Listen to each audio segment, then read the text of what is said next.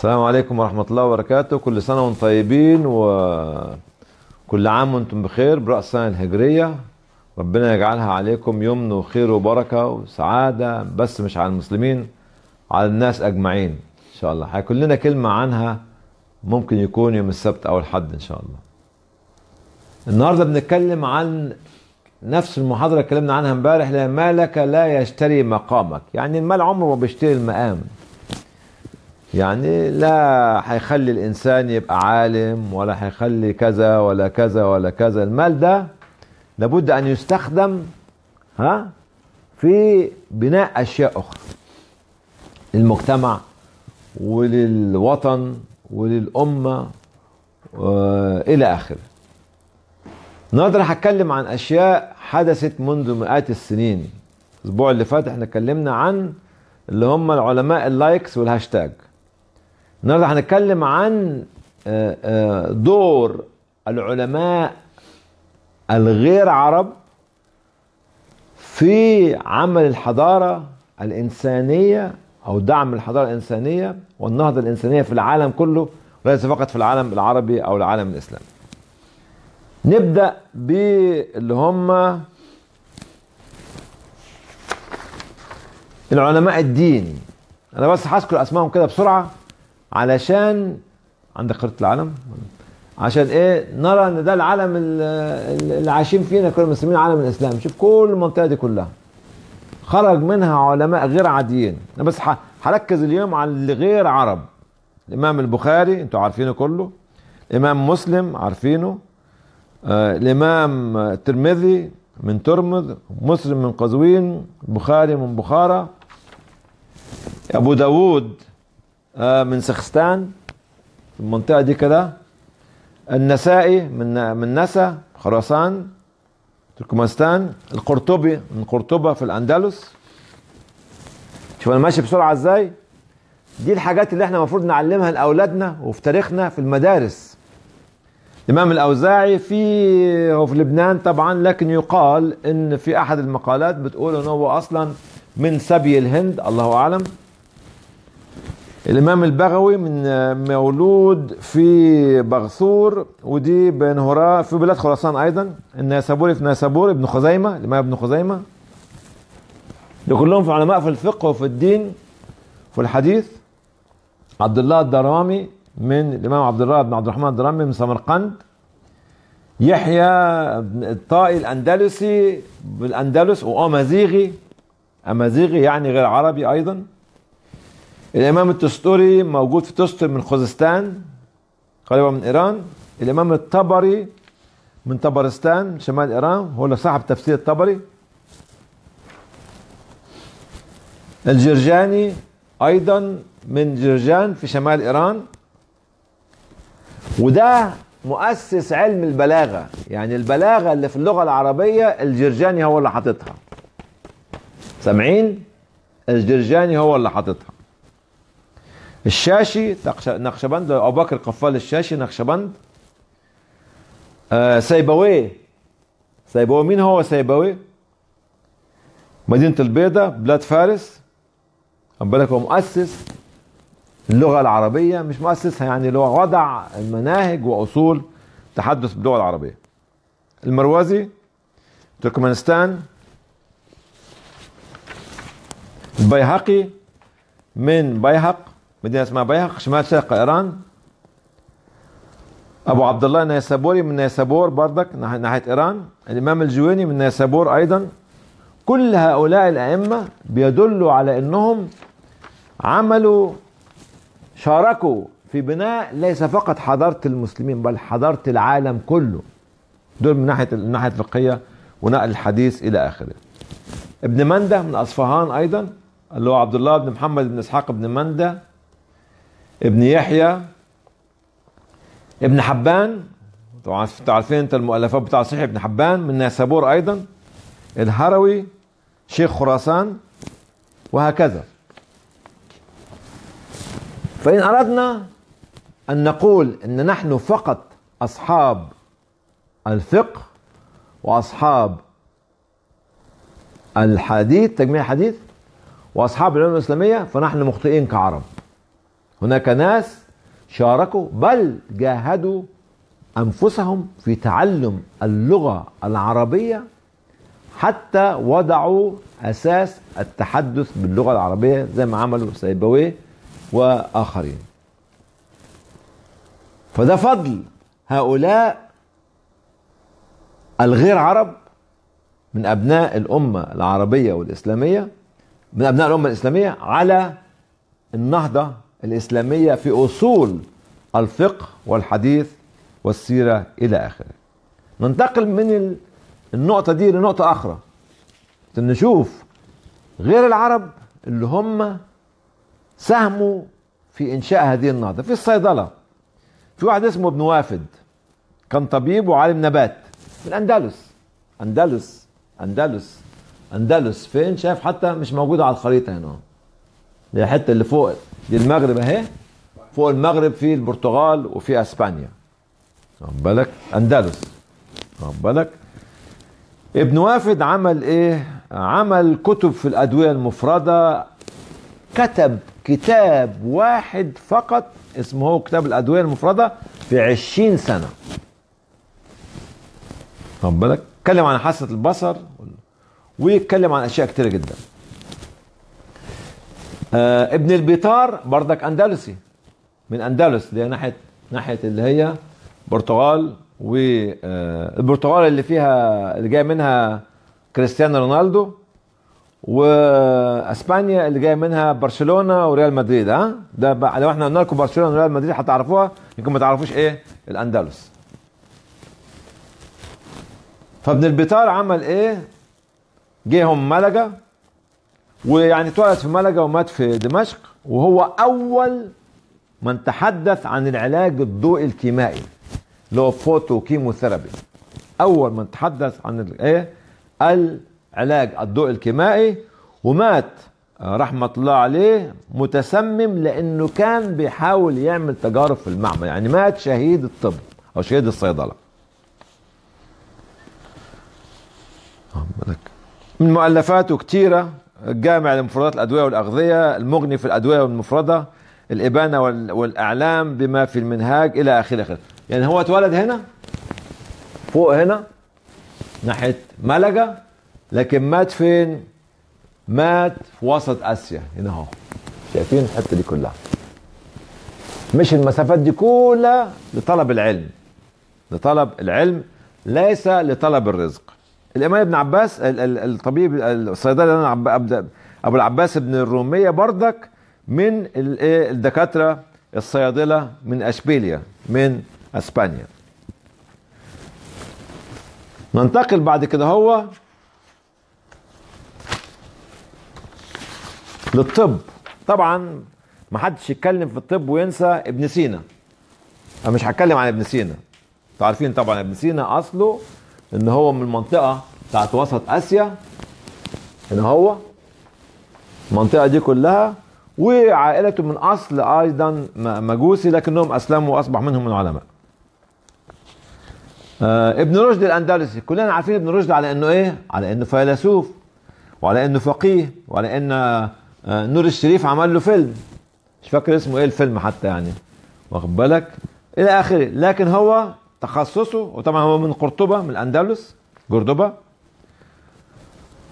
تخصص في الطب الإسلامي والفلك والفلسفة والجغرافيا والرياضيات والفيزياء والعلوم الإسلامية وعلم الكلام كمان.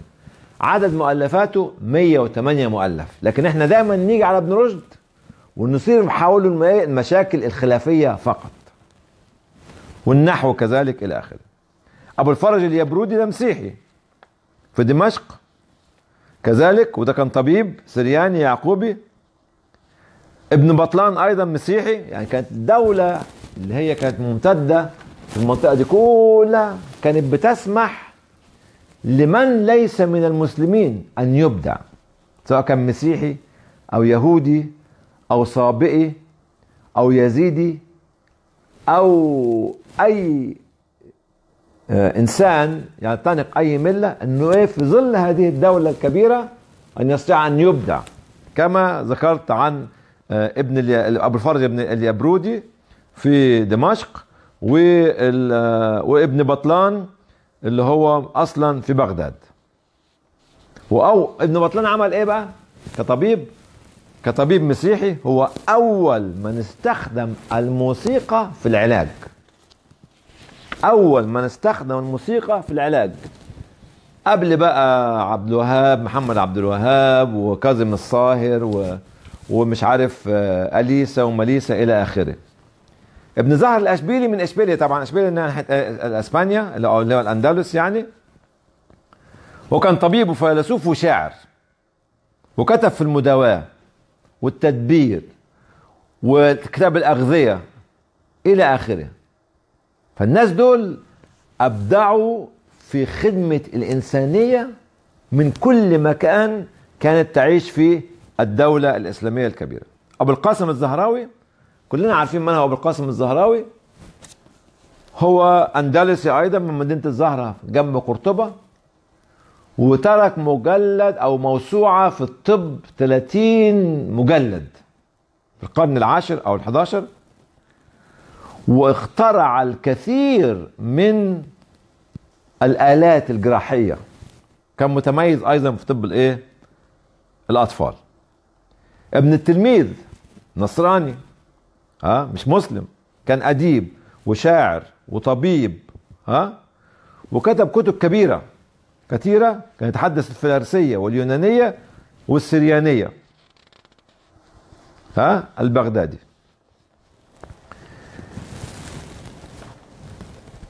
يوحنا بن مساوية أيضا كان مسيحي من خوزستان وسط آسيا هنا اهو المنطقة دي كلها اللي هي دلوقتي منطقة فقيرة شعوبها فقيرة تحتاج لدعمنا إحنا كمسلمين. كان مسيحي أيضا من خوزستان ومن أهم إنجازاته في علم التشريح. كان بيشرح مين؟ كان بيشرح القرود. القرود القرود. ليه؟ لأن التكوين التشريحي والجسم القرود قريب جدا من جسم الإنسان. الناس كانت بتفهم. وكتب كتب كتيرة جدا. اسمها النوادر الطبية كتاب في الحميات كتاب في طب العيون. ده بنسميه دلوقتي اوفثالمولوجي وكتاب في محنة الكاحلين أيضا إلى آخره. هو كان إيه؟ في جراحة العيون. كان بردك مسيحي يعيش في المنطقة دي كلها. ونمى وكبر وأبدع في آه، آه، آه، إثراء ال- ال- النهضة الإنسانية في العالم. ابن توما أيضا مسيحي وكان من بغداد أيضا وترك أربعين مصنف دينا إحنا ابن سقلاب نصراني أيضا من سكان مدينة القدس.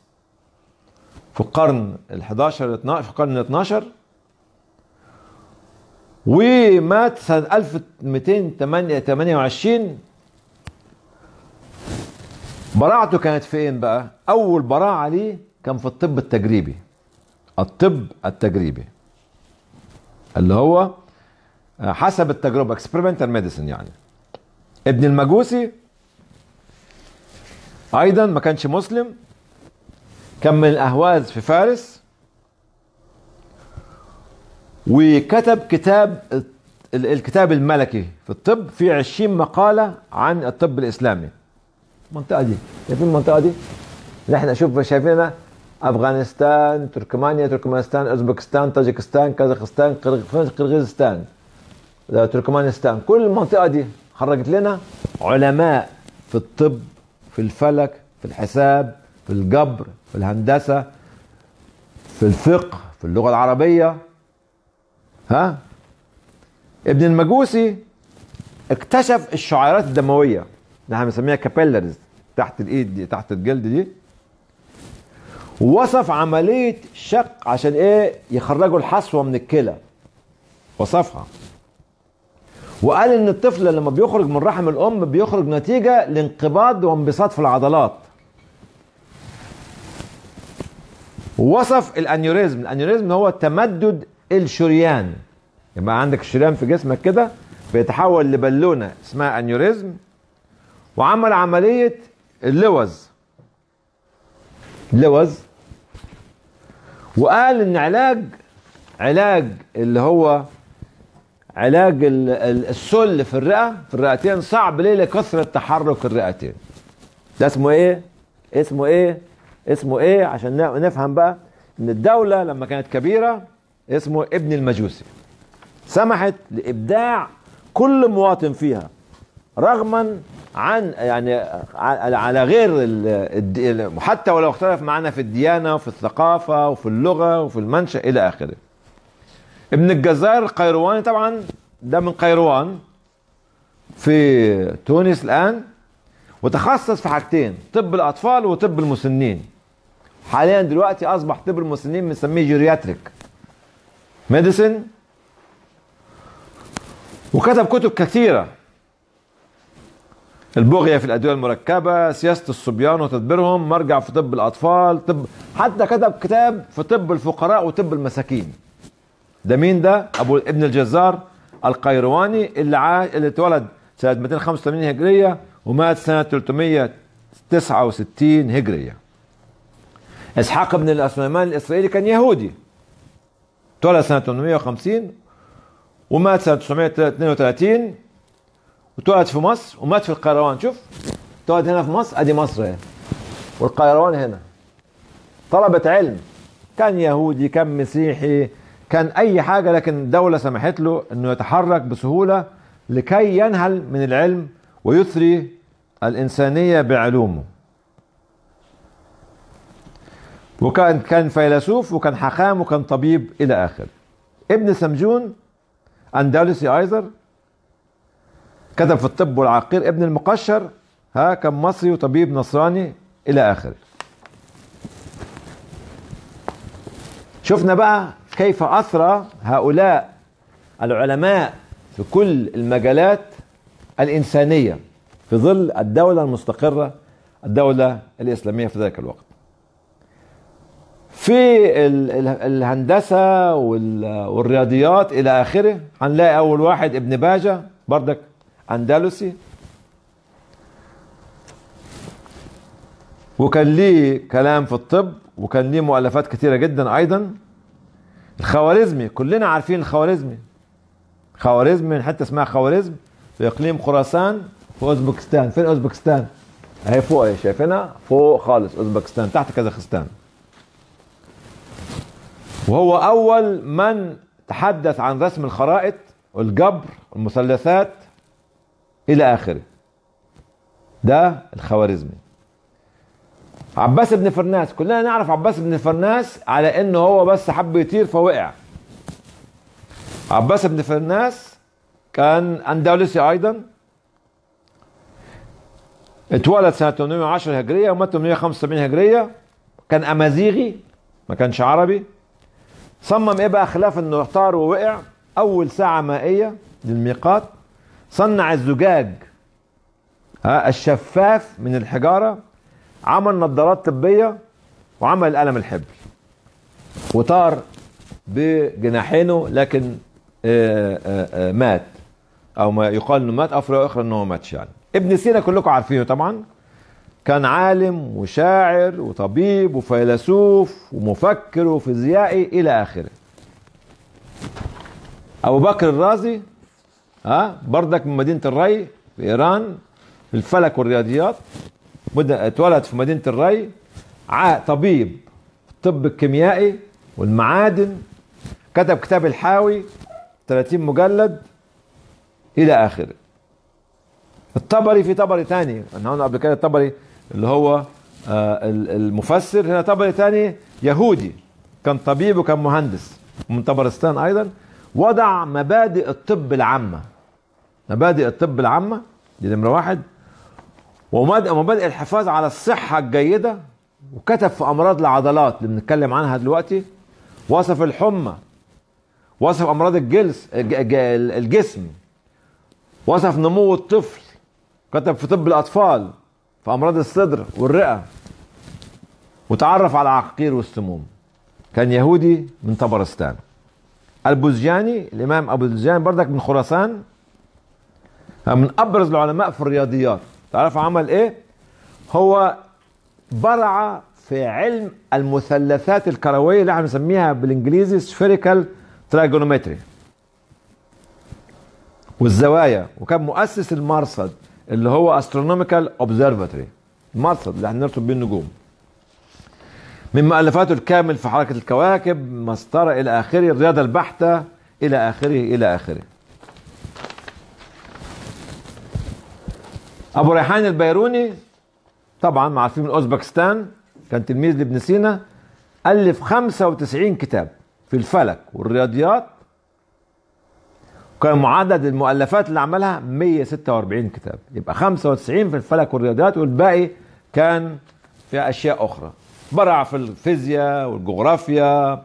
في الجغرافيا رسم الخطوط الطول وخطوط العرض وضع نظريات القياس ونصف الكرة الأرضية عشان نظريات قياس نصف الكرة الأرضية ها ومساحتها. وكان ليه مؤلفات في الأدب والشعر والفلسفة. ده مين ده؟ ده أبو أبو ريحان. البيروني من أوزبكستان. فين أوزبكستان؟ أوزبكستان أوزبكستان أهي فوق أهي اللي إحنا دلوقتي بنعاملهم كأنهم شحاتين وإحنا بنتصدق عليهم. ابن عراق ده من خوارزم أيضا كان متخصص في الرياضيات والفلك وكان معلم من معلمين البيروني. أبو معشر البلخي من بلخ من خراسان أيضا قريبه من إيران. لا خراسان اللي هي المنطقة دي كلها. ادي إيران المنطقة اللي هي بتاعت أفغانستان وك... وتركمانستان إلى آخره. آه تشتغل في علم النجوم اللي هو stars والـ astrology ومن اشهر الكتب اللي عملها المدخل الكبير على أحكام النجوم. الخازن كلكم عارفينه طبعا اتولد سنة 900 برضك في مدينة خراسان سنة 900 ومات سنة 971 وده أول من وصف سقوط الأشياء قبل نيوتن لكن كلنا نعرف نيوتن وما نعرفش الخازن وكلنا نذكر نيوتن ما نذكرش إيه؟ الخازن وضع نظرية في شكل الكون وتركيبه. منين هو؟ من خراسان. نفس المنطقة. المنطقة اللي فوق خالص دي. وضع تفسير لحركة الكواكب. وضع طرائق لتعيين أول ها أول محرم اللي إحنا فيه النهارده يعني هو أول من وضع طريقه لتعيين أول محرم في السنة الهجرية. وفي الرياضيات وكت... ليه كتب كثيره جدا. الإدريسي أيضا طبعا مؤسس علم الجغرافيا ده. ومن سبتة من صقلية من سبتة من آه ولد في سبتة ومات في صقلية هو أندلسي أيضا.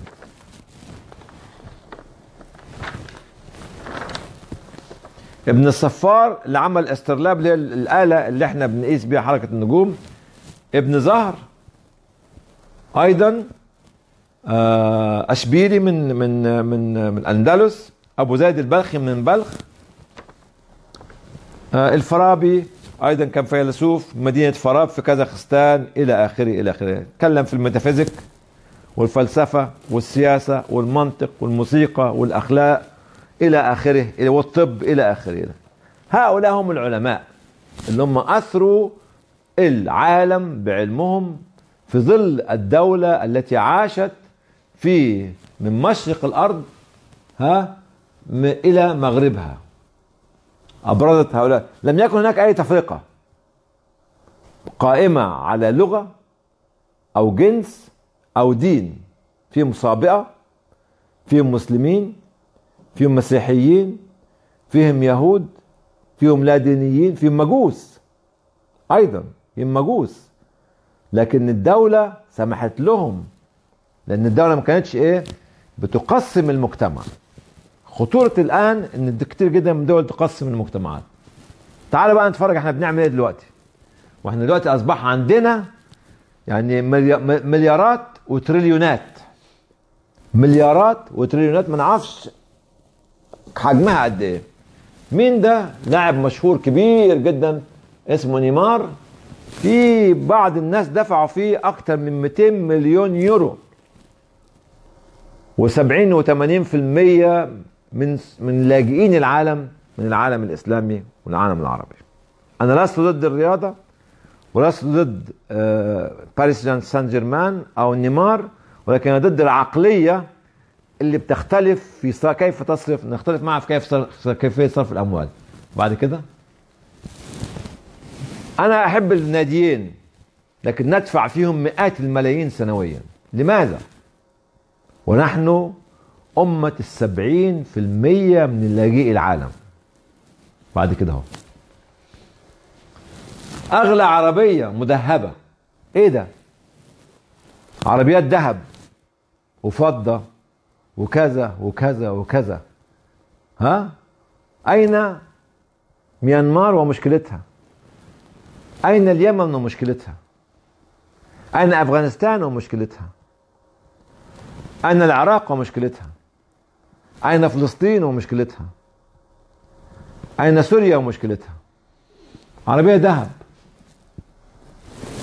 هل هل الله سبحانه وتعالى أعطانا هذه الأموال نصرفها بهذه الطريقة؟ هذه عربية تانية أهو. أغلى يخت وأغلى عربية وأغلى كذا. فين الفلوس دي؟ المفروض تستلف في الصناعة في العلم في البحث في التجربة في الكتب في تثقيف أولادنا وشبابنا وبناتنا. تعليمهم إيه هو تاريخهم؟ هو ده. أموالنا بتصرف هكذا. عربية تانية سكان لندن ضجروا من صوت هذه العربيات عمر المال ما هيعمل لك قيمة. يعمل لك قيمة قيمك ودينك وأخلاقك وعلمك وعملك الاجتماعي اللي انت بتخدم فيه مش فقط مجموعتك انت بس تخدم فيه الإنسانية. هذا ما يرفع شأنك.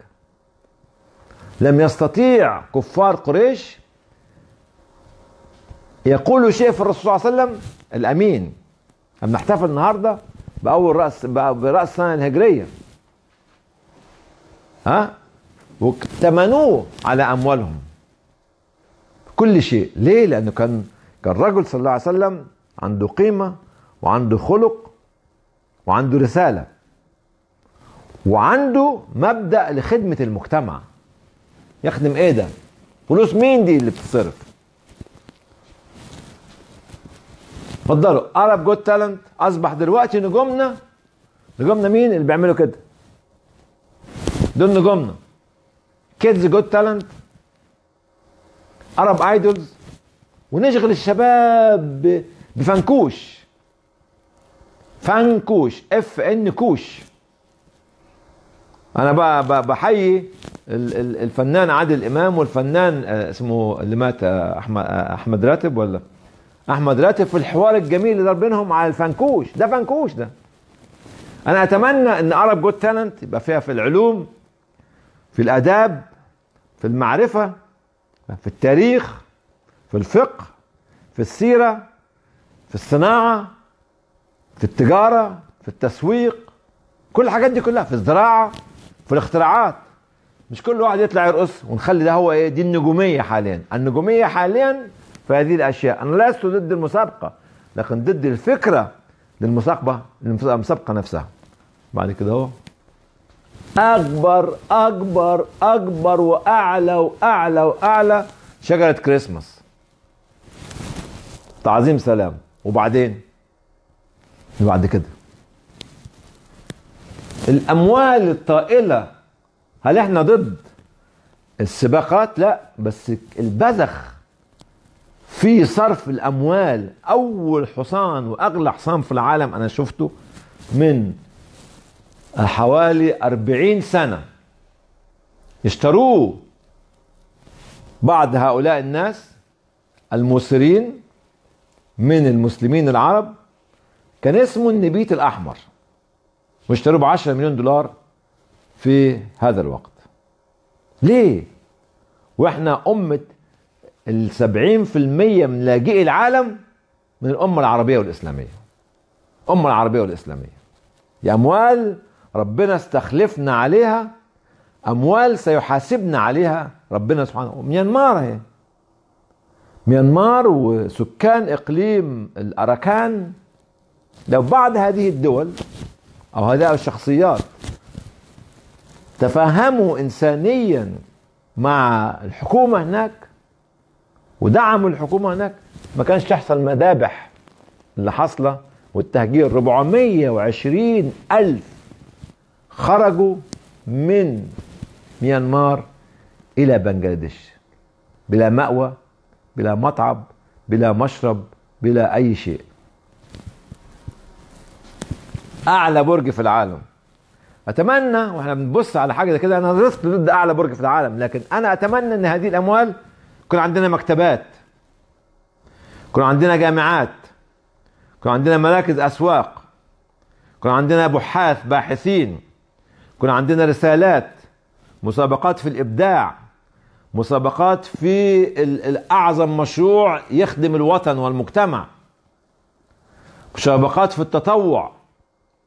مسابقات في الخدمة. يعني ما أنتوا إحنا إن الأوقاف بتاعه جامعة هارفارد 40 مليار دولار. قرابه 40 مليار دولار.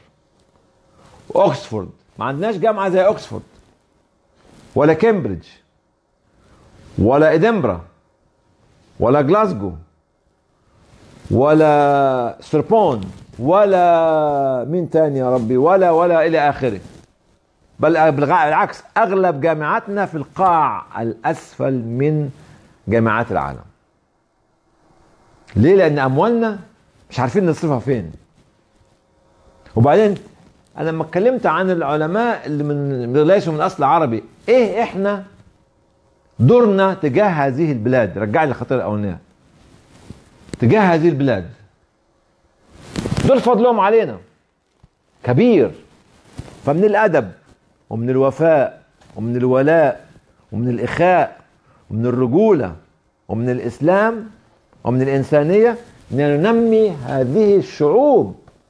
كازاخستان أوزبكستان طاجكستان آه، قرغيزستان آه، أفغانستان إلى اخره تركمانستان إلى اخره إلى آخره. ليه؟ لأن الشعوب دي عندها قدرة على إفراز وإبراز مكانات وملكات أخرى يستفيد منها العالم كله كما عملت من قبل. الجاليات الإسلامية اللي موجودة في الغرب بلاد أفريقيا اللي هي يعني تشاد النيجر مالي موريتانيا 80 90% منهم مسلمين. كلهم يعيشوا تحت خط الإيه؟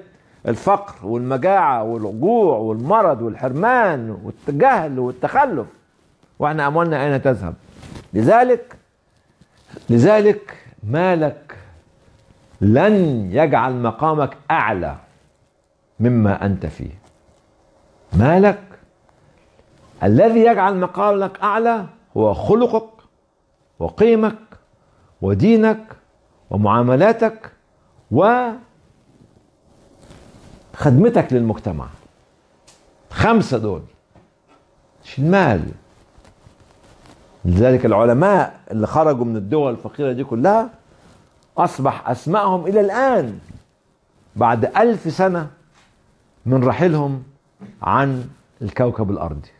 نذكرهم ونتمنى أن كل من يسمع ها يعلم أبنائه كيف نهضت هذه الشعوب أو كيف نهض هؤلاء الناس في مجتمع متجانس يسمح بم- بمعايشة كل الأديان والأجناس واللغات والثقافات والأعراق والتواريخ إلى آخره ويمنع الشرذمة التي تحدث الآن. أشكركم جميعا وجزاكم الله خيرا وإن أطلت عليكم نفس الخمس دقايق بتوع امبارح. لكن أتمنى إن انت- إن إحنا نهتم ببلادنا في كل مكان في العالم ونعرف تاريخنا. لأن حاليا الآن يصنع نجوم آخرين ورموز آخرين ويطمس التاريخ الذي تعودنا وتعلمنا عنه.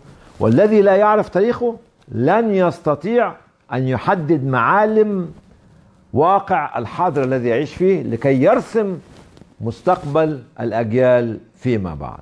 السلام عليكم ورحمة الله وبركاته.